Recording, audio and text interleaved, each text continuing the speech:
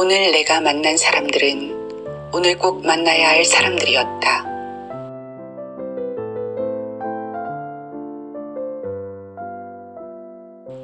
우연은 없다. 언제나 만나야 할 사람만 만나고 일어나야 할 일들만이 일어난다.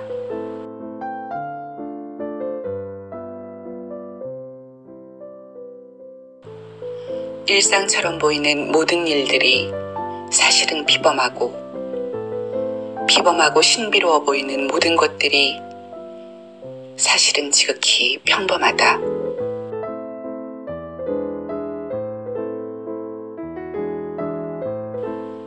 모든 것은 전 우주가 함께 계획했기 때문에 그 순간 나타난 것이다. 아니, 그 모든 일 자체가 우주의 작용이다.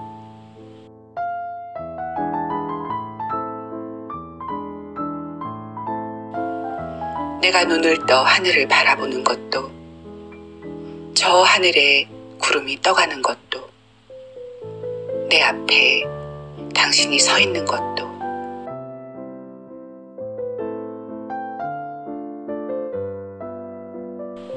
그 모든 일상이 전 우주가 함께 추는 춤이다. 대기 대용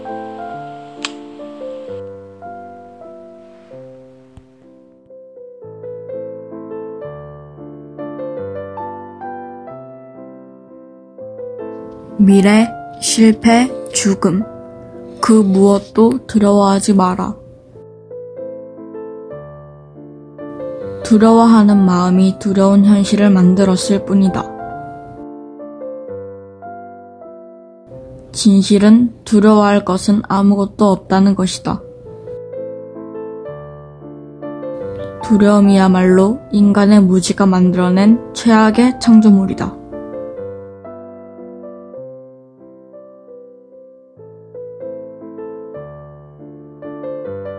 사물에 통달한 사람이 평화로운 경지에 이르러 이와 같이 선언하라. 살아있는 모든 것은 다 행복하라, 평안하라, 안락하라.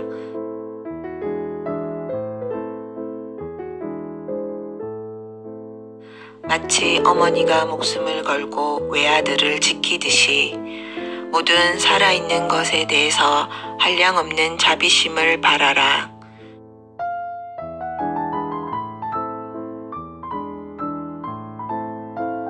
또한 온 세계에 대해서 무한한 자비를 행하라. 위로 아래로 옆으로 장애도 원한도 저기도 없는 자비를 행하라. 서 있을 때나 길을 갈 때나 앉아 있을 때나 누워서 잠들지 않는 한 언제나 이 자비심을 굳게 가지라.